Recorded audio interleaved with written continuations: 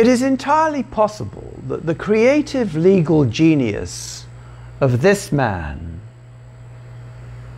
has saved over 100,000 lives in America each year, and certainly allowed the state of Florida to sue and collect billions of dollars from big tobacco in compensation for all the smoking health related issues.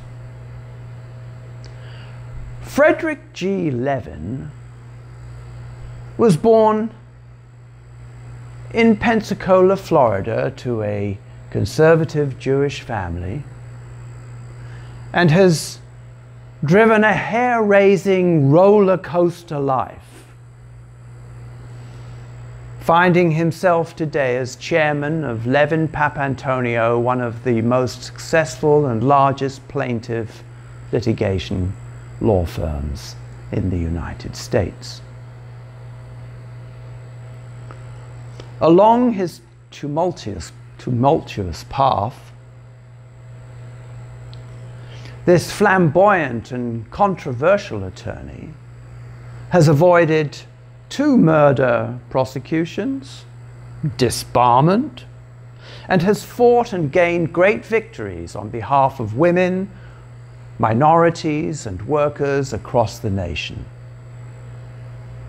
The United Nations has honored him for his steadfast support of the African American community, and he was even named a chief of a, the Republic of Ghana.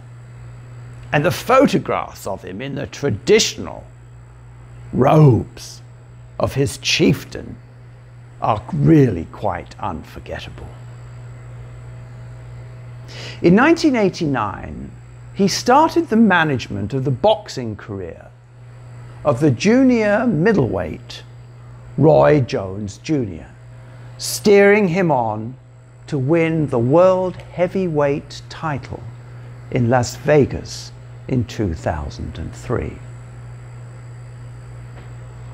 As a youngster, Fred was terrified of public speaking and completely blew his bar mitzvah speech.